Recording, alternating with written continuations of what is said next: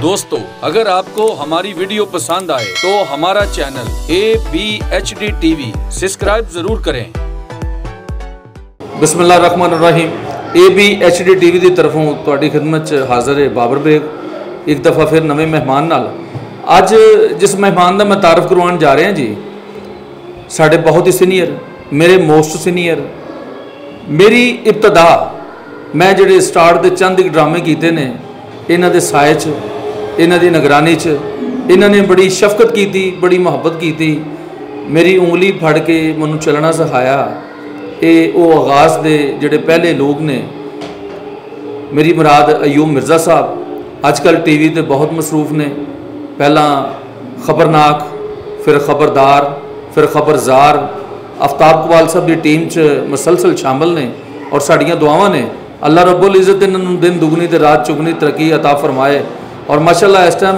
Fun ਦੀਆਂ ਬੁਲੰਦੀਆਂ ਨੂੰ ਛੂ ਰਹੇ ਨੇ ਸਾਡੇ ਨਾਲ ਨੇ ਇਹਨਾਂ ਨਾਲ ਗੱਲਬਾਤ ਕਰਨੇ ਆ ਅਸਲਾਮ ਵਾਲੇਕੁਮ ਮਿਰਜ਼ਾ ਸਾਹਿਬ जी वालेकुम अस्सलाम बाबा साहब क्या हाल है जनाब ठीक ठाक खैरियत है खुश हो ਅਲਹਮਦੁਲਿਲਾ ਮਿਰਜ਼ਾ ਸਾਹਿਬ ਅੱਲਾਹ ਦਾ ਬੜਾ ਇਹਸਾਨ ਹੈ ਤੇ ਕੈਸੀ ਜ਼ਿੰਦਗੀ ਗੁਜ਼ਰ ਰਹੀ ਹੈ ਅਲਹਮਦੁਲਿਲਾ ਬਹੁਤ ਅੱਛੀ ਮੇਰੇ ਮਾਲਕ ਦਾ ਬੜਾ ਇਹਸਾਨ ਹੈ ਔਰ ਦੇਖੋ ਰਿਜ਼ਕ ਜਿਹੜਾ ਹੈ ਮਜਾਨਬ ਅੱਲਾ ਕਿਉਂਕਿ ਜਿਹੜਾ ਮੇਰੇ ਨਸੀਬ ਦਾ ਰਿਜ਼ਕ ਹੈ ਉਹ ਮੈਨੂੰ ਮਿਲਦਾ ਹੈ ਮੇਰਾ ਨਸੀਬ 'ਚ ਰਿਜ਼ਕ ਨਹੀਂ ਭਾਵੇਂ ਉਹ ਤਲਵਾਰਾਂ ਦੀ ਵਿਛਾੜ 'ਚ ਹੋਵੇ ਤੇ ਭਾਵੇਂ ਫੁੱਲਾਂ ਦੀ ਛੇਕ ਤੇ ਪਿਆ ਹੋਵੇ ਉਹ ਮੈਨੂੰ ਨਹੀਂ ਮਿਲਣਾ ਜਿਹੜਾ ਮੈਨੂੰ ਮਿਲਣਾ ਹੈ, ਉਹ ਭਾਵੇਂ ਗੋਲੀਆਂ ਦੀ ਬਰਸਾਤ ਦੇ ਵਿੱਚ ਹੋਵੇ, ਉਹ ਮੇਰੇ ਕੋਲ ਚੱਲ ਕੇ ਆ ਜਾਣਾ ਰਿਸਕ ਮਾਲਕ ਦੇ ਹੱਥ ਹੈ। ਬੰਦੇ ਦੇ ਹੱਥ ਹੋਵੇ ਤਾਂ ਇੱਕ ਨਵਾਲਾ ਵੀ ਕਿਸੇ ਦੇ ਮੂੰਹ ਤੱਕ ਨਾ ਜਾਣ ਦੇਵੇ। ਉਹ ਮਾਲਕ ਹੀ ਇਹ ਸਭ ਨੂੰ ਢਿੱਡ ਭਰ ਕੇ ਸੁਆਉਂਦਾ ਹੈ ਤੇ ਹਰ ਚੀਜ਼ ਉਹਦੀ, ਹਰ ਹਾਜਤ ਔਰ ਹਰ ਜ਼ਰੂਰਤ ਅੱਲਾਹ ਤਾਲਾ ਪੂਰੀ ਕਰਦਾ ਇਹ ਮੇਰੇ ਮਾਲਕ ਦਾ ਨਿਜ਼ਾਮ ਹੈ।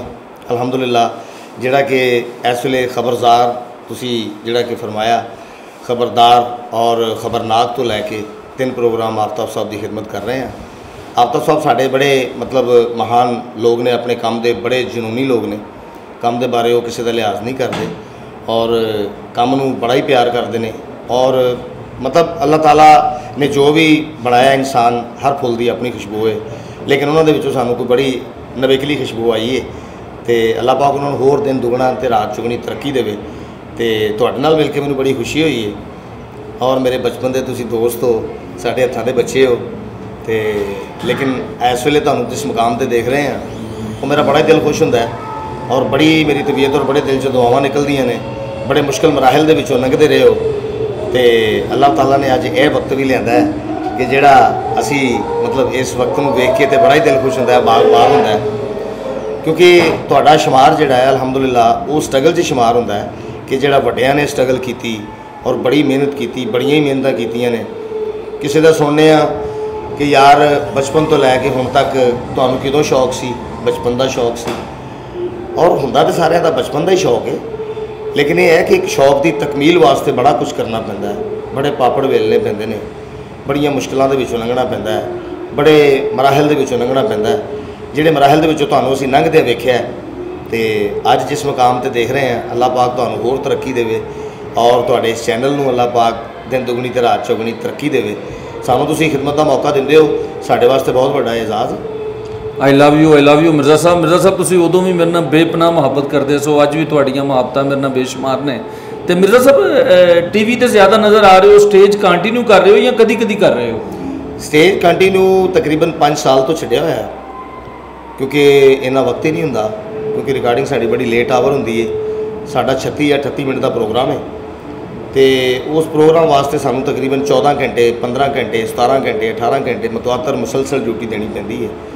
ਅਸੀਂ 12 1 ਵਜੇ ਜਾਂਦੇ ਹਾਂ ਤੇ ਰਾਤ ਦੇ 2 3 ਵਜੇ 4 ਵਜੇ ਕਦੀ ਕਦੀ ਸਾਨੂੰ ਸਵੇਰ ਦੇ 8 ਵੀ ਵੱਜ ਜਾਂਦੇ ਨੇ, ਨਾਸ਼ਤਾ ਕਰਕੇ ਉੱਥੋਂ ਆਈਦਾ ਤੇ ਮਤਲਬ ਅੱਲਾਹ ਕੋ ਦੁਆ ਕਰੀਦੀ ਕਿ ਮਾਲਕਾ ਹਿੰਮਤ ਦੇਣੀ ਹੈ।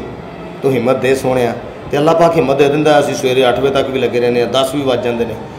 ਲੇਕਿਨ ਉਹਦੇ ਵਿੱਚੋਂ ਪ੍ਰੋਗਰਾਮ ਆਫਤਾਬ ਸਾਹਿਬ ਇੰਜ ਕੱਢਦੇ ਨੇ, ਜਿਵੇਂ ਕਸਾਈ ਇੱਕ ਸਪੈਸ਼ਲ ਅੱਛਾ ਗੋਸ਼ਤ ਕੱਢਦਾ ਤੇ ਉਹ ਪਬਲਿਕ ਉਹਦਾ ਖਾਣ ਦਾ ਮਜ਼ਾ ਲੈਂਦੀ ਹੈ ਔਰ ਇਸ ਪ੍ਰੋਗਰਾਮ ਦਾ ਵੀ ਆਵਾਮ ਇਸ ਤਰ੍ਹਾਂ ਮਜ਼ਾ ਲੈਂਦੀ ਹੈ ਫੈਮਿਲੀ ਪ੍ਰੋਗਰਾਮ ਹੈ ਵੱਡਾ ਪ੍ਰੋਗਰਾਮ ਹੈ ਔਰ ਅੱਲਾਹ ਪਾਕ ਇਸ ਪ੍ਰੋਗਰਾਮ ਨੂੰ ਹੋਰ ਤਰੱਕੀ ਦੇਵੇ। ਅੱਛਾ ਤੇ ਮਿਰਜ਼ਾ ਸਾਹਿਬ ਇਹ ਫਰਮਾਓ ਕਿ ਅਫਤਾਬ ਕਬਾਲ ਸਾਹਿਬ ਸਪੈਸ਼ਲੀ ਤੁਹਾਡਾ ਬੜਾ ਮਜ਼ਾ ਲੈਂਦੇ ਨੇ ਤੇ ਇਹ ਕੀ ਰੀਜ਼ਨ ਹੈ ਉਹਨਾਂ ਨੂੰ ਮੇਰੇ ਨਾਲ ਇੱਕ ਖਸੂਸਨ ਪਿਆਰ ਹੈ ਔਰ ਉਹਨਾਂ ਦੀ ਸ਼ਫਕਤ ਦੀ ਨਜ਼ਰ ਜਿਹੜੀ ਹੈ ਉਹਦੇ ਵਿੱਚ ਸਾਨੂੰ ਬਹੁਤ ਕੁਝ ਮਿਲਦਾ ਹੈ ਉਹ ਇੱਕ ਐਕਸਪ੍ਰੈਸ਼ਨ ਨਾਲ ਹੀ ਬੰਦੇ ਨੂੰ ਦੱਸ ਦਿੰਦੇ ਨੇ ਕਿ ਇਸ ਆਰਟਿਸਟ ਤੇ ਮੈਂ ਖੁਸ਼ ਹਾਂ ਜਾਂ ਨਹੀਂ ਖੁਸ਼। ਕਿਉਂਕਿ ਮਰਹੂਮ ਤਾਰਕ ਜਾਵੇਦ ਸਾਹਿਬ, ਅੱਲਾਹ ਤਾਲਾ ਉਹਨਾਂ ਨੂੰ ਖਰੀਕੇ ਰਹਿਮਤ ਕਰੇ। ਸਾਡੇ ਸ਼ਹਿਰਦਾਰ ਸਨ, ਸਾਡੇ ਕੋਲ ਸਨ, ਸਾਡੇ ਵੱਡੇ ਸਨ, ਸਾਡੇ ਸੀਨੀਅਰ ਸਨ। ਔਰ ਉਹਨਾਂ ਨੇ ਬੜੀ ਖਿਦਮਤ ਕੀਤੀ। ਕਦੀ ਕਦੀ ਤੇ ਮੈਂ ਉਹਨਾਂ ਨੂੰ, ਮੈਨੂੰ ਉਹਨਾਂ ਵਿੱਚੋਂ ਤਾਰਕ ਜਵੇਦ ਸਾਹਿਬ ਨਜ਼ਰ ਆਉਂਦੇ ਨੇ, ਕਿਉਂਕਿ ਉਹਨਾਂ ਦੀ ਜਦੋਂ ਰੈਸਲ ਹੁੰਦੀ ਸੀ ਨਾ, ਤੇ ਉਸ ਵੇਲੇ ਕੋਈ ਮੇਰਾ ਖਿਆਲ ਹੈ ਕਿ ਅੱਲਾਹ ਕੋਲੋਂ ਮੈਂ ਮਾਫੀ ਮੰਗ ਕੇ ਕਰ- ਗੱਲ ਕਰਨਾ, ਕਿ ਚਿੜੀ ਨਹੀਂ ਸੀ ਫੜਕਦੀ ਹੁੰਦੀ। ਅਗਰ ਕੋਈ ਵਿੱਚੋਂ ਬੋਲ ਪਿਆ ਇਹਨੂੰ ਇਸ ਤਰ੍ਹਾਂ ਨਹੀਂ ਇਸ ਤਰ੍ਹਾਂ ਕਰ ਲਓ, ਤੇ ਫਿਰ ਉਹ ਕਹਿੰਦੇ ਹੁੰਦੇ ਸਨ, ਤੈਨੂੰ ਬੁਲਾਇਆ ਤੇਰੇ ਨਾਲ ਗੱਲ ਕੀਤੀ ਹੈ ਤੇਰੇ ਕੋਲ ਪੁੱਛਿਆ ਹੈ, ਜਦੋਂ ਮੈਂ ਬੈਠਾ ਤੇ ਇੱਥੇ ਕੋਈ ਵੀ ਨਾ ਬੋਲੇ ਤੇ ਕੋਈ ਨਹੀਂ ਸੀ ਬੋਲਦਾ ਕੁੜੀ ਹੋਵੇ ਮੁੰਡਾ ਹੋਵੇ ਸਟਾਰ ਹੋਵੇ ਛੋਟਾ ਇੱਕ ਐਂਟਰੀ ਵਾਲਾ ਹੋਵੇ ਉਹਨਾਂ ਦੇ ਡਰਾਮੇ 'ਚ ਇੱਕ ਐਂਟਰੀ ਵਾਲਾ ਫਨਕਾਰ ਵੀ ਜਿਹੜਾ ਸੀ ਉਹ ਬਕਾਇਦਾ ਇੱਕ ਗਿਣਤੀ ਦੇ ਵਿੱਚ ਆਂਦਾ ਸੀ ਤੇ ਸਾਨੂੰ ਉਹਨਾਂ ਦੇ ਕੰਮ ਕਰਨ ਦਾ ਬੜਾ ਮਜ਼ਾ ਆਉਂਦਾ ਸੀ ਇਸੇ ਤਰ੍ਹਾਂ ਹੀ ਸਾਨੂੰ ਆਪਤਾ ਦੇ ਜਿਹੜੇ ਨਾ ਪਰਫਾਰਮੈਂਸ ਦੇ ਵਿੱਚ ਔਰ ਸਾਡੇ ਕੋਲੋਂ ਜੋ ਕਰੈਕਟਰ ਕਰਾਉਂਦੇ ਨੇ ਸਾਨੂੰ ਉਹਦਾ ਬੜਾ ਹੀ ਮਜ਼ਾ ਆਉਂਦਾ ਹੈ ਔਰ ਉਹਨਾਂ ਕੋਲੋਂ ਸਾਨੂੰ ਬਹੁਤ ਕੁਝ ਸਿੱਖਣ ਨੂੰ ਮਿਲਿਆ। ਤੇ ਮਿਰਜ਼ਾ ਸਾਹਿਬ ਸਟੇਜ ਤੁਹਾਡੀ ਪਹਿਚਾਣ ਹੈ? ਤੇ ਕਦੀ ਇਹ ਦੌਰਾ ਨਹੀਂ ਪਿਆ ਕਿ ਕੋਈ ਸਟੇਜ ਫਿਰ ਇੱਕ ਕਰ ਲਈਏ, ਕੋਈ ਦਿਲ ਦੀ ਤਸਕੀਨ ਜਿਹੜੀ ਹੈ ਉਹ ਪੂਰੀ ਕਰ ਲਈ ਜਾਏ। ਜੀ ਜੀ, ਅਹ, ਦਿਲ ਦੇ ਵਿੱਚ ਤਮੰਨਾ ਤਾਂ ਹੁੰਦੀ ਹੈ ਕਿਉਂਕਿ ਸਾਡੀ ਨੈਟ ਪ੍ਰੈਕਟਿਸ ਹੈ ਅਗਰ ਸਾਡੀ ਇਹ ਨੈਟ ਪ੍ਰੈਕਟਿਸ ਨਹੀਂ ਤਾਂ ਸਾਨੂੰ ਇੰਝ ਲੱਗਦਾ ਜਿਵੇਂ ਅਸੀਂ ਖੋਰੇ ਇੱਥੇ ਚੈਨਲ ਤੇ ਵੀ ਕੰਮ ਹੀ ਸਿੱਖਣ ਆਏ ਆ ਨੈਟ ਪ੍ਰੈਕਟਿਸ ਸਾਡੀ ਜਾਰੀ ਰਹੇਗੀ, ਸਾਨੂੰ ਨਵੀਂ ਨਵੀਂ ਗੱਲ ਮਿਲੇਗੀ, ਅੱਛਾ ਅੱਛਾ ਮਾਹੌਲ ਮਿਲੇਗਾ, ਅੱਛਾ ਟੌਪਿਕ ਮਿਲੇਗਾ, ਔਰ ਸਾਨੂੰ ਐਕਸਪ੍ਰੈਸ਼ਨ ਮਿਲੇਗਾ। ਔਰ ਪਬਲਿਕ ਪਲੇਸ ਦੇ ਵਿੱਚੋਂ, ਕਿਉਂਕਿ ਇਹ ਮੁxtਲਿਫ ਰੋਲ ਹੁੰਦੇ ਨੇ ਮੁਆਸ਼ਰੇ ਦੇ ਵਿੱਚ ਰੋਲ ਹੁੰਦੇ ਨੇ। ਟਾਂਗੇ ਵਾਲਾ ਹੋਵੇ, ਭਾਈ ਹੋਵੇ, ਭਰਾ ਹੋਵੇ, ਸਾਲਾ ਹੋਵੇ, ਚਾਚਾ ਹੋਵੇ, ਤਾਇਆ ਹੋਵੇ, ਮਾਂ ਹੋਵੇ, ਭੈਣ ਹੋਵੇ, ਉਹਦਾ ਕਿਵੇਂ ਇਹਤਰਾਮ ਕਰਨਾ ਹੈ? ਉਹਦਾ ਮਤਲਬ ਜਿਹੜਾ ਮਾਂ ਦੇ ਤਕੱਦਸ ਦਾ ਕਿਵੇਂ ਪਤਾ ਲੱਗਣਾ ਹੈ?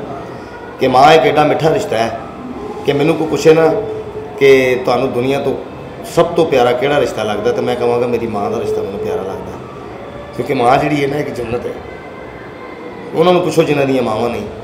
ਜਿਹਨੇ ਮਾਂ ਦੀ ਖਿਦਮਤ ਕੀਤੀ ਉਹਨੂੰ ਦੁਨੀਆ ਦੇ ਵਿੱਚ ਕੋਈ ਕਿਤੇ ਥੋੜ ਨਹੀਂ ਆਂਦੀ ਉਹਨੂੰ ਕੋਈ ਕਿਸੇ ਚੀਜ਼ ਦੀ ਕਮੀ ਨਹੀਂ ਆਂਦੀ ਕਿਉਂਕਿ ਮਾਂ ਜ਼ਮੀਨ ਦਾ ਰੱਬ ਹੈ।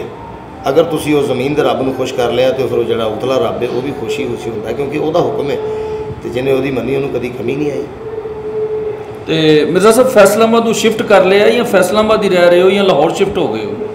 ਅਸੀਂ ਫੈਸਲਾਬਾਦ ਤੋਂ ਬਾਬਰ ਸਾਹਿਬ ਤਕਰੀਬਨ ਸੰਨ 82 81 ਦੇ ਵਿੱਚ ਅਸੀਂ ਲਾਹੌਰ ਆ ਗਏ ਸਾਂ। ਤੇ ਵੱਡੇ ਭਾਈ ਇੱਥੇ ਸਨ ਤੇ ਉਹ ਕਿਉਂਕਿ ਰੈਗੂਲਰ ਕੰਟੀਨਿਊ ਇੱਥੇ ਆਪਣਾ ਇਲੈਕਟ੍ਰੋਨਿਕਸ ਦਾ ਕੰਮ ਕਰਦੇ ਸਨ। ਫਿਰ ਉਹਨਾਂ ਨੇ ਕਿਹਾ ਕਿ ਅਯੂਬ ਤੂੰ ਵੀ ਲਾਹੌਰ ਹੀ ਆ ਜਾ। ਮੈਂ ਕਿਹਾ ਚਲੋ ਲਾਹੌਰ ਆ ਜਾਂਦੇ ਆ ਲਾਹੌਰ ਆਏ ਆ ਤੇ ਲਾਹੌਰ ਇੱਕ ਐਸੀ ਧਰਤੀ ਹੈ ਐਸੀ ਸਰਖੇਜ਼ ਮਿੱਟੀ ਹੈ ਕਿ ਇਹ ਪੀਰੀ ਫਕੀਰੀ ਪੀਰੀਪੁਰ ਲਾਹੌਰ ਹੈ ਤੇ ਉੱਥੇ ਮਤਲਬ ਸਰਕਾਰ ਔਰ ਅੱਲਾਹ ਤਾਲਾ ਸਭ ਤੋਂ ਪਹਿਲੇ ਰੱਬ ਦੀ ਜ਼ਾਤ ਵੱਡੀ ਹੈ ਉਹਨਾਂ ਤੋਂ ਬਾਅਦ ਪੀਰਾਂ ਫਕੀਰਾਂ ਦਾ ਸਦਕਾ। ਉਹ ਰਾਤ ਨੂੰ ਰੋਟੀ ਖਵਾ ਕੇ ਸੌਂਦੇ ਨੇ, ਇੱਥੇ ਭੁੱਖੇ ਵੀ ਰੱਜ ਕੇ ਸੌਂਦੇ ਨੇ ਤੇ ਵਿਚਾਰੇ ਬੇਕਸ ਤੇ ਲਾਚਾਰ ਵੀ ਰਾਤ ਨੂੰ ਰੋਟੀ ਖਾ ਕੇ ਸੌਂਦੇ ਨੇ।